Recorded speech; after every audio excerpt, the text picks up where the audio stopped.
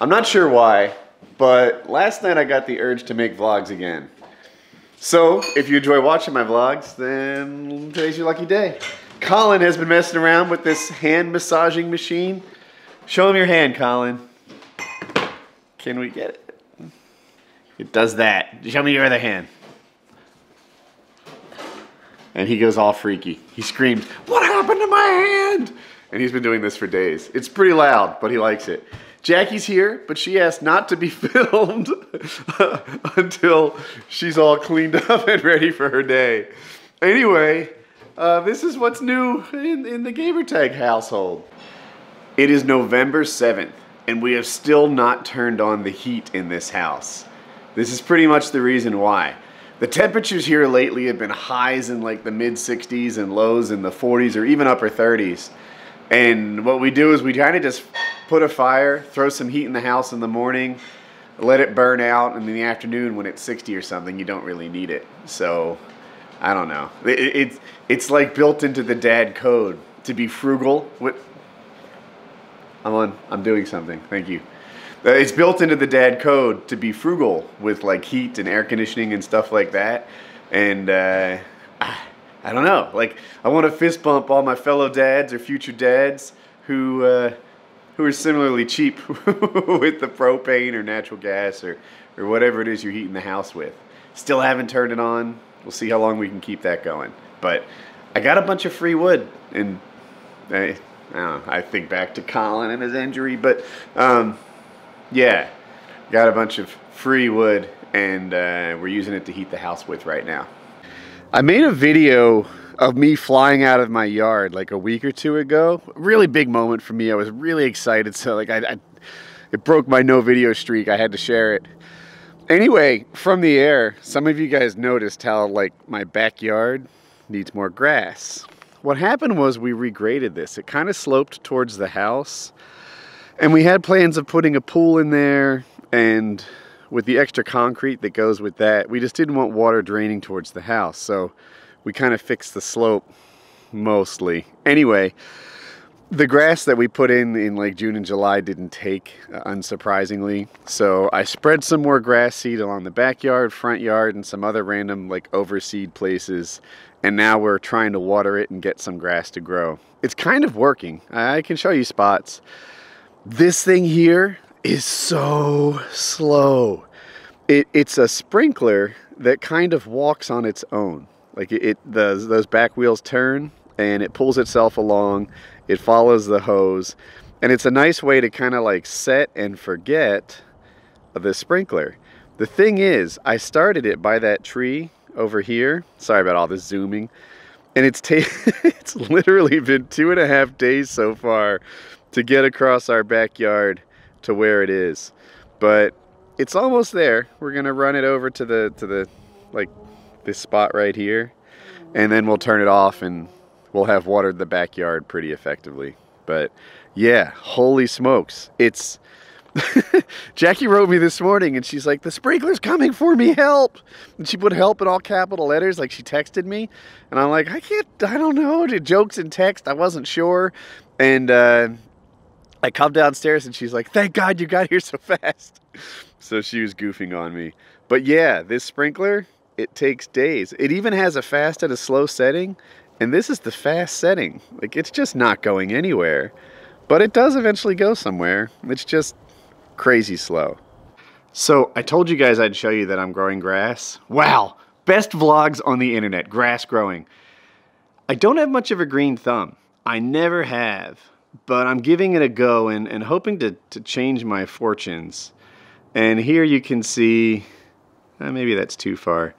Uh, the grass is, is kind of coming in.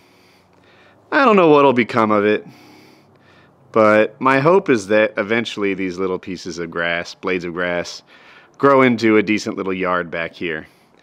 But I've got something else to talk about.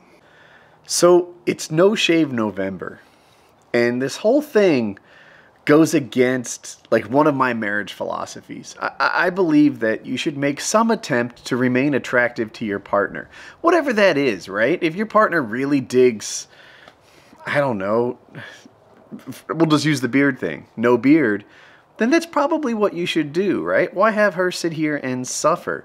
You know, maybe you prefer something that, you know, some grooming standard that she meet, then maybe she should meet that for you. I, I feel like that's just a little piece of a healthy marriage. Other guys might disagree. Some guys might say, no, you know, I don't care if my wife doesn't like the way I look. But that's not how we run things around here. The thing is, I don't know. I, I guess it's fans. I, I, get maybe even a tiny bit me. Um, I, I kind of want to do No Shave November. So I haven't told her I'm doing this. And it's not crazy for me to go like four or five days without shaving. And I think it's been seven. And she hasn't said anything. So I'm just of, I'm, I'm, not telling her it's No Shave November. And don't you tell her. I'm just, you know, participating. see how far I can get. I don't I don't think it'll be the whole month, but but we'll build something up, and and that's that. I think No No Shave November has some sort of cause. It might be breast cancer awareness. I, I have no idea how beards and boobs go together, but um, I, yeah, I'm just doing it because other people get to not shave in November, and I, I don't know. I want to. We'll see how much I can get away with, but for right now, shh. I'm not shaving, and she thinks it's just a gap in shaving. I haven't told her it's on purpose. so, I want to tell you about my paramotor and such. Somehow, this hydraulic cart kicks off the story. I bought this hydraulic cart to hold my paramotor. And you can see how it works. It lifts like a thousand pounds or something crazy like that. And you can pump it up with your foot and give you like a nice working level. Also, it has wheels. I got this because my paramotor is kind of heavy. And when you put it on a shelf and it's like facing forward, and oh, by the way, this lever makes it go down. Hang on, sometimes this is bumpy. Ah, it's going pretty good. Maybe it's bumpier with heavier lighter things. I don't know. Anyway, so I got this so that I could put my paramotor on it and not have to pick it up off the ground ground all the time. It, it's not so bad to pick up the paramotor when you just go like that and stand, right? Um, when you get it off the ground, it wants to like pull you backwards, so you gotta like get your foot under it, lean forward, do one of those deals. It's not graceful. This is way better. Also on wheels, as I was saying, so I could push it over to the truck and slide it right in, you know, just slide the paramotor in without having to really like hoist it around. I, getting a new paramotor, you'll notice this is not a paramotor, this is a boy. Uh, I'm being very careful not to bash my last paramotor. The reason is, I feel like Southern Skies treated me really well. I'm really glad I learned there. I'm really glad I know Marco. I'm really glad um, their service was great. Uh, it would break on me, and I'd say, hey, I got another event this weekend. You got to get me something in the mail, like immediately, so that I have it by Thursday or Friday to fix it and not miss my thing. And they would, every time. You know, I needed a part. That part was out in a day or two. The, the challenge was I just needed parts too often. Like, like that was the problem. Um, Colin, can I have this seat? Here, I'll put you down a bit. Oops, I told you. Here, hop on. Hop off, I want to talk to the camera. What the heck? You got me on. I did. All right, so let's talk. I, here, I'm going to fix the camera. Okay, paramotor talk. The service was great. Uh, the instruction was great. But the paramotor kept breaking on me. And like i would defend it and people online would be like "Woody, you know stop being such a cuck. This thing breaks on you constantly. Um, i feel sorry for you. I'm a paramotorist and i've gone a year and never had as much trouble as you do each week. I, I watched um, eric farwell who's very good at marketing uh, he did a, a like a review of all the things that have broken across the fleet of 63 paramotors and I watched it, and, and you know, there's some gaskets that went bad and what they did to rectify it. And I'm like, man, I've had more trouble than his fleet of 63 paramotors. And I talked to Marco about it. I've had more trouble than his fleet of paramotors that he's sold. I just got a rough one. So, um, and it's worth noting they fixed it. Like exhaust springs kept breaking. Well, now they have a new design on the exhaust spring. I didn't have it, but new models have it if you buy one now. Um, my starter kept breaking. I think I'd be on my fourth starter if I kept it now. And uh, they have a new model starter with enhanced heat treated springs or something that'll stop breaking in this manner. It turned out it wasn't the way I pulled it, it was uh, vibration in flight. it was vibration in flight that was, um, that was breaking the starter. And they fixed that. But I, I just was ready for Colin's playing with this the hydraulic thing. I was just ready for something different, but I never intended to get rid of it. Um, if I intended to get rid of it, I would have bought a forty dollar stool instead of you know several hundred dollars on a hydraulic lifting cart. But because um, the new one's much lighter. Anyway, uh, the fact is, uh, they took it back. Um, I, I, I have a loss of like $1,700 for 12 hours of usage. I, I had proposed 1500 and, and they stretched it a bit. I don't know what's fair. I'll tell you, it had a few dings in the cage from bad landings, but it was, you know, mostly in, in good looking shape. So, uh, whatever. Um, I'm out 1700 and I'm into a new paramotor that's shipping today and I should get it Wednesday. Colin, I'm too high. It's going to cut my head off. Okay. Do the handle. There we go. So, uh, anyway, I'm getting a new paramotor, and for me, this is like Christmas. It was never the plan, but it's where we are, and um, uh, you know, I, I, hope that the new one uh, solves the problems that I had in the old one, which were namely that it seemed like I had an, a problem for every like 90 minutes of flight time you know something would need to get replaced and that's that's too much. So uh, yeah the the model paramotor i'm buying is a year old. The last one i bought it had like just been released i think. And this one has had a year to like fix and resolve problems the same way that somebody would if they bought the one i got today. I think i'm getting long-winded. Anyway I have a new paramotor coming, and I hardly have words to express how excited I am. I checked the shipping page 20 times a day now, and uh, it will come. I'll show it to you when I get it. Colin wanted to get the sun film. Just wait, I whip the fuel up. Go ahead, Colin, pull me up. I hope this is cool. As cool as he thought it would be when he proposed this idea for the vlog. Anyway, I've got stuff to do. Let's get to it. Okay, just seconds. Just in. we we got some packages in the mail. Let's come a step closer, okay. baby. And um, I think we know what it is. We think so. We think so because you you can kind of feel it in the in the bag. I, I cut out the return address. Fragile, do not bet. But this one, can, is it focusing? It's to Jackie CTR Woodworth, which which should be Jackie Correct the Record Woodworth. Correct the Record? What does that mean? Correct the Record is a, uh, it's the astroturfing campaign okay. that Hillary does where they hire people to say positive things about Hillary. Okay. Or correct the record, depending okay. on, on where you lean on this thing. So, you have... oh, yeah, no, I'm not wearing that. Put it on! No, no, no. you can do it! I'm not putting it Be on. Be a sport. No. So the front says lock her up, and the back says Clinton is a disgrace. Do not put that on my head. Oh, you're no fun. No. Somebody bought this for you. Yes, I didn't ask him to, and I, you know, want to say it's made in China. Thank you. Mine says, uh, of course, lock her up on the front, and make America great again by adding Void Spy on Xbox. Uh, please. Yeah, not gonna happen. Really? I thought we'd put it on. I'm not putting that on. You know, I don't believe in locking her up. I dropped mine because you. Well, you're no fun. I'm no fun. Put my knife down so I don't kill myself while I put it on. I, I thought they were, were Trump hats, and I would have been like, okay, but I'll give these to. I, I don't want to be mean. well, anyway, uh, thanks for the hats. You know, my no, favorite no, one. thank you for the hats.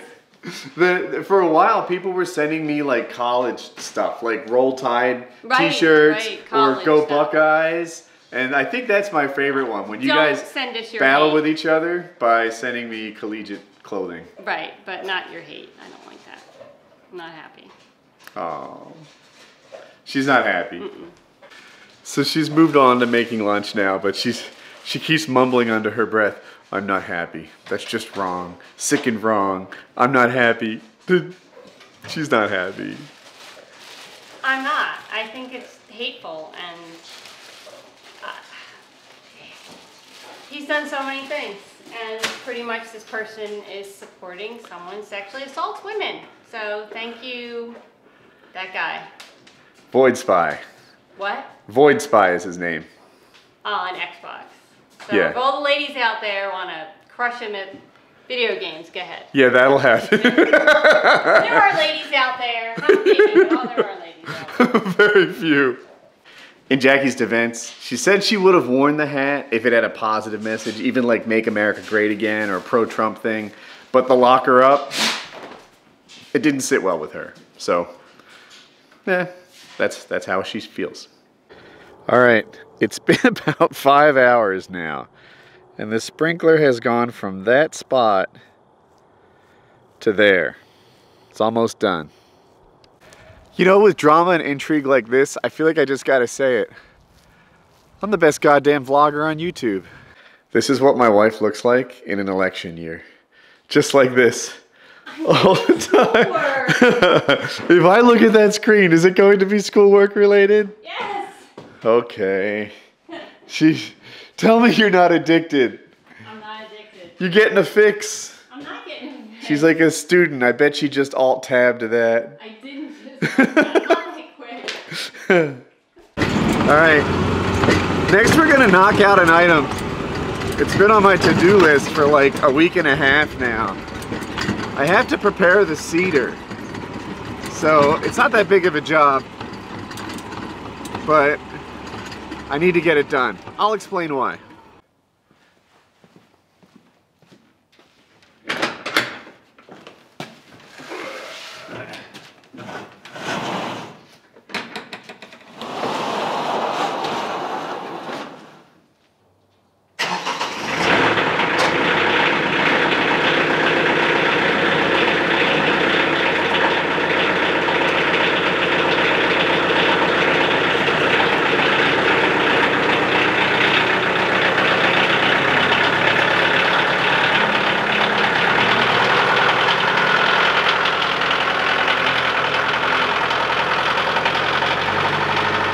All right, this is a spreader. I'll show you how it works.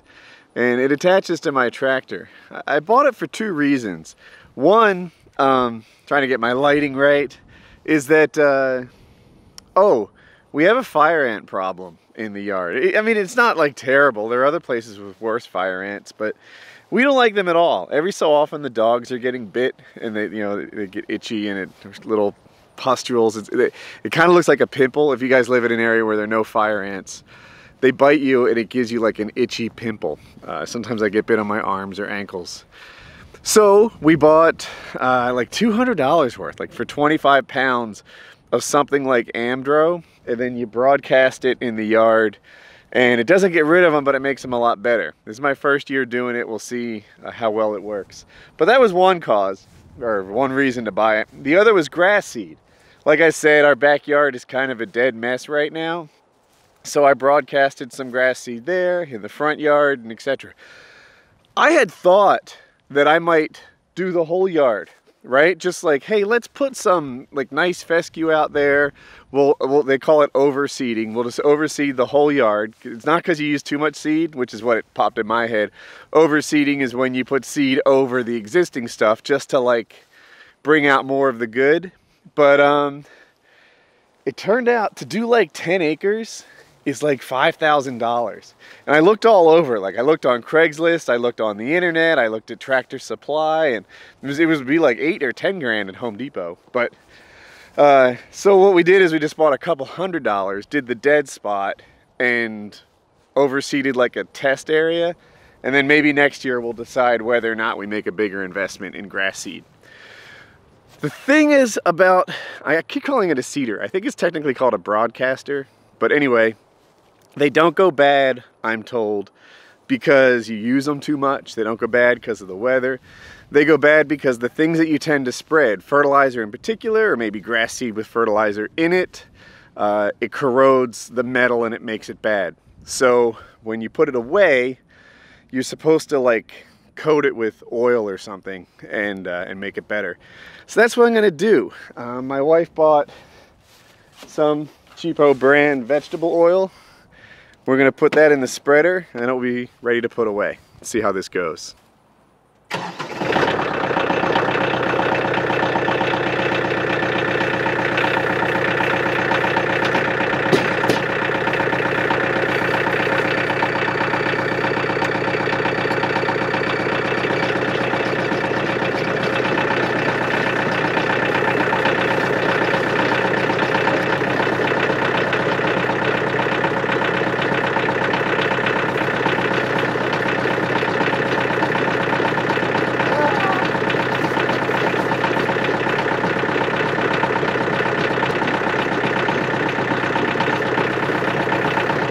Seems like it's working.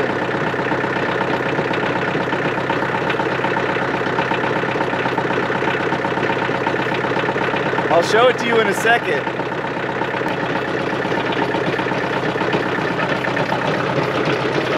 You can see, I don't know if the camera's picking it up, but I can see that it's spraying the oil. That's what it looks like in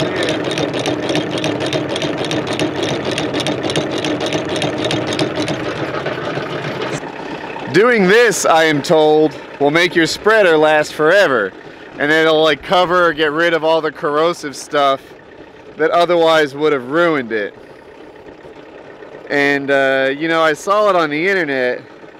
And around here, we all know if you saw it on the internet, it must be true. You know, I went to move the tractor. I come back, and this guy is rolling upside down in the vegetable oil. Ender, come here. Come here. Can we see him? There's, you know, he actually feels kind of nice. Maybe that was a good idea. Are you a good boy? Hmm? He doesn't understand that you need to stay away from You were too close to the camera. anyway, he's covered in oil. Let's put away the seeder. So on to my next task. Um, all right, let me set it up.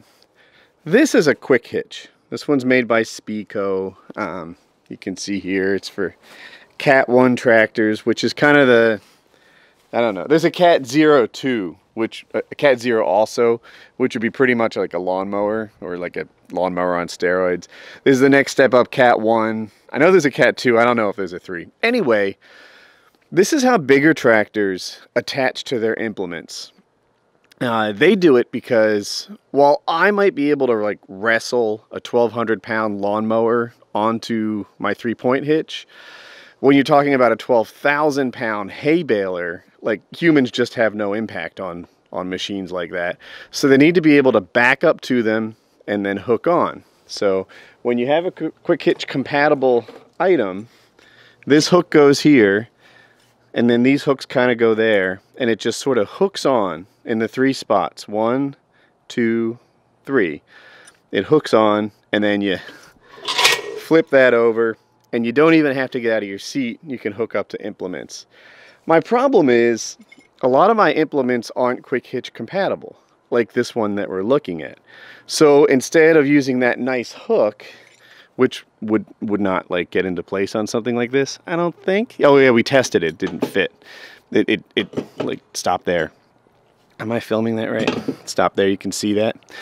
So we have to use that adapter on the top, and on the bottom we use these bushings, but they didn't do a good job. One, it's kind of narrow, so it's tricky to really get this in the very perfect spot. Imagine backing up where like centimeters matter. It's tricky.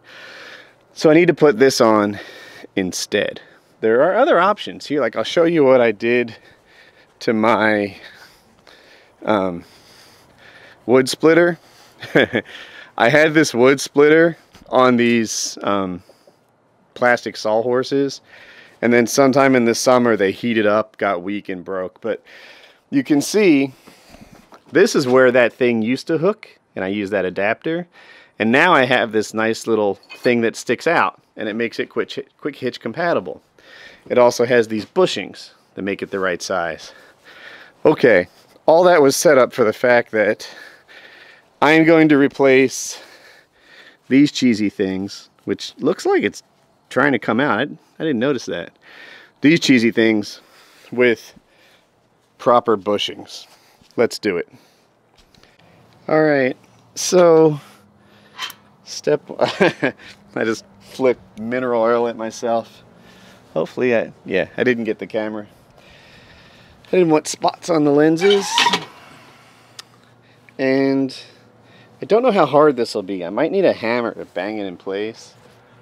And I can tell you one thing. I sort of set up the camera in the way. But let's see if I can muscle this on.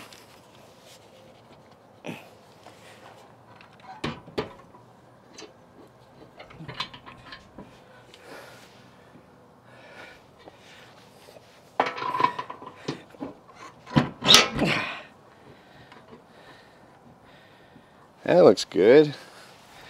Where's the other one? That would make it out even further. I think I'll go with that one. No real reason why. And then this will bang in. I need a hammer. Be right back. Farm implements are actually such a pain in the butt to attach. I actually keep a hammer out here next to them uh, just for situations like this. Because it just seems like a lot of times I need to bang things into place. Hopefully not my fingers.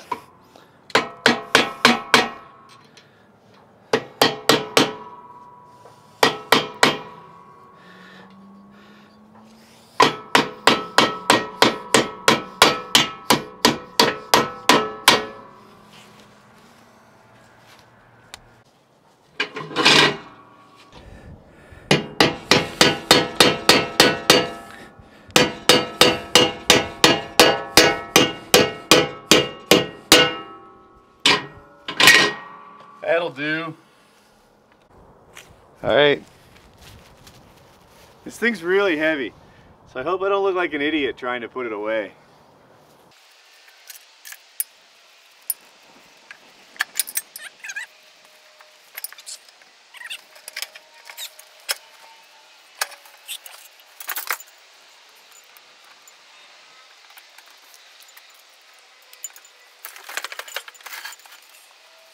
That'll do. This thing's a little expensive for what it is. It, I mean, I'm, I, don't know, but it, it seems like they took $150 in materials and I forget what it cost. Was it like 500 bucks? I think it's called a root rake. Having said that, it's incredibly well built. And if you have a problem that it solves, it's nice to have it around. I think it's my third or fourth time using it. I know I broke it out for the first time on, on one of the vlogs. It's kind of fighting me. And, uh, oh, well, that's your problem right there. And, uh, but our whole yard was like compacted hard soil. So I grabbed this thing, just drove around backwards in a pattern, kind of dragging this. And now you can literally see the grass coming up in rows like it was a crop almost. So I guess it was time well spent and I don't know, I guess I'm glad I have it. I just feel like they charged a lot for it. Come on, baby. I feel like I'm gonna hurt myself.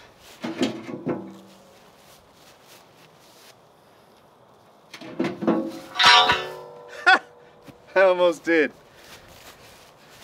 Ugh.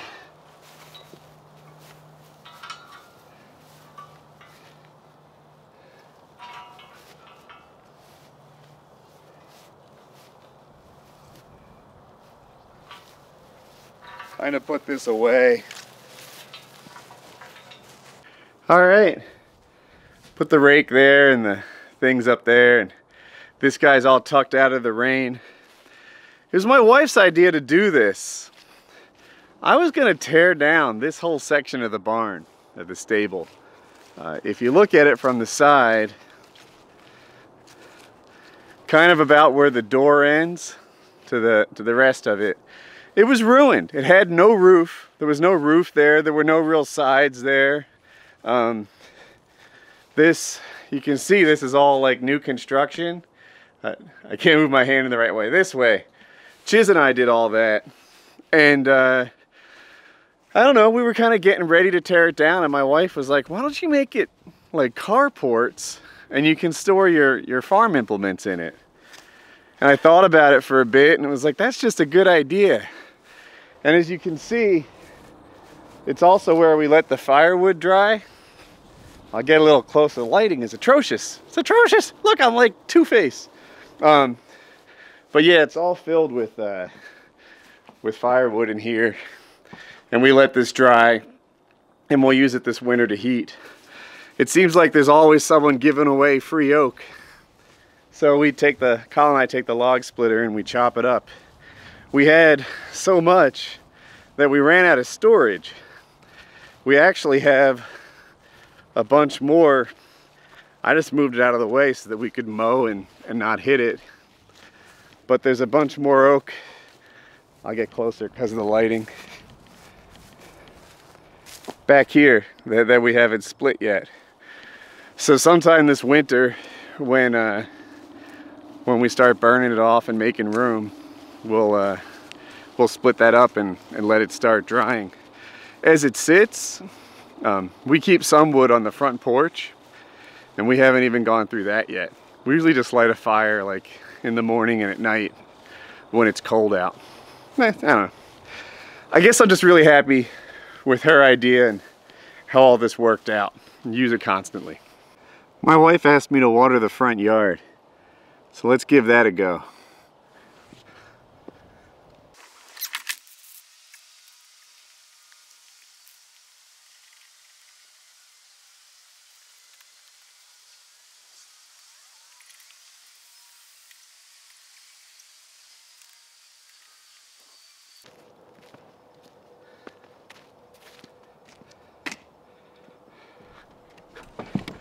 Failure.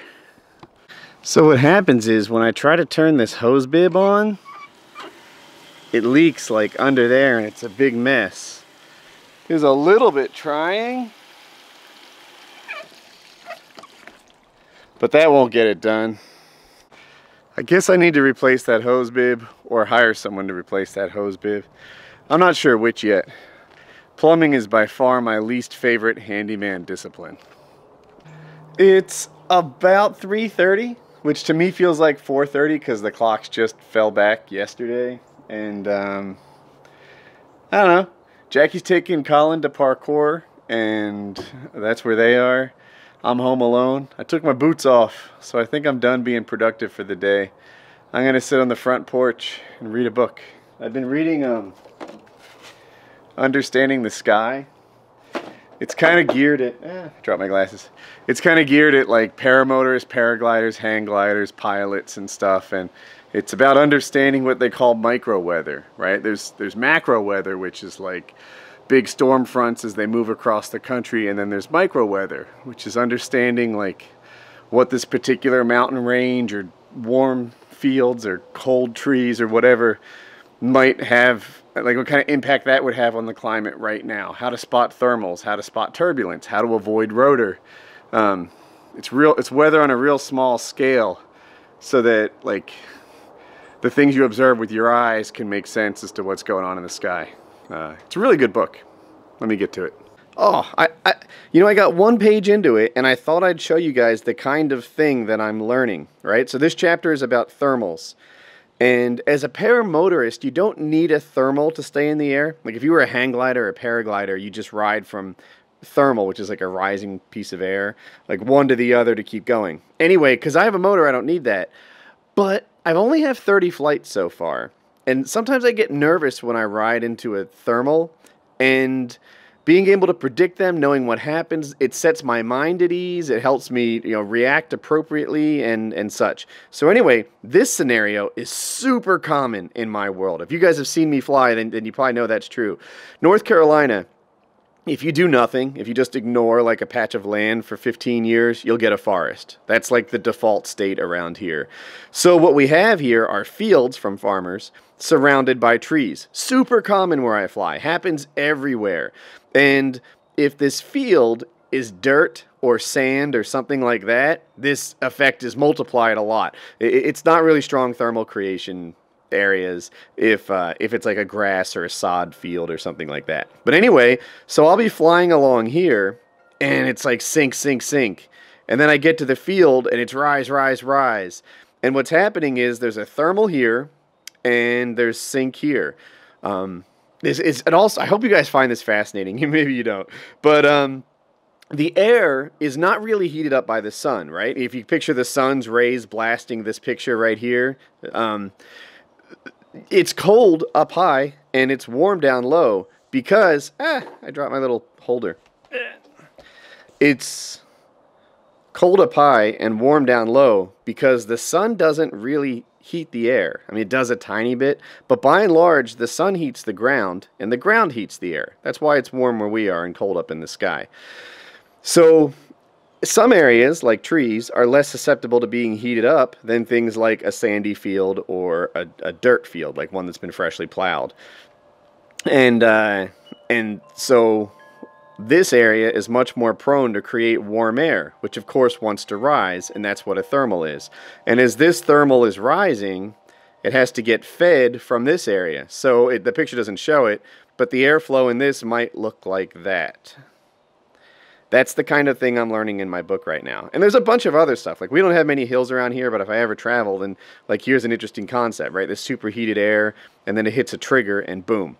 And it's nice to be able to predict what would happen. Like, all right, you know, th- there's no pictures of this right now, but here the sun's shining on this side of the hill, the wind is blowing this way. What do you think the air is going to do in that situation? I I need to know this sometimes so that I don't put myself in either a dangerous spot or so that I can put myself in an advantageous spot. Um, I'm reading a book. I'll get back to it. I hope this was interesting. So, I guess I'll tuck in for I don't know, wrap my day up. I'm not tucking in for bed. It's not that late. But this is dinner. We have honey glazed beets, mm-hmm. stuffing, rice, and chicken. I, I marinated juice. that chicken for 24 hours. Wow. She's too good to me. Anyway, dinner is here. So I don't know if I'll be making a lot of vlogs. I got the itch to do it today, so I did. My wife and I watched Head to Head. It's a Netflix series about cars on TV today. Well, I watched it and she read about political news all night. but uh, I'm going to call that a wrap for the show. Yeah, yeah. Multi-million dollar deals got a million dollar deal. When I was younger, I would wonder how a million dollars feel. And for real, it feel like I ain't even broke a seal. Cause when you drop hits, they want you to pick up the bill. Now my life is in Maryland, my heart is in Chicago. New York state of mind, but out LA, man, that's where I go this shit down. So much on my mind, that's the reason I'm spitting now.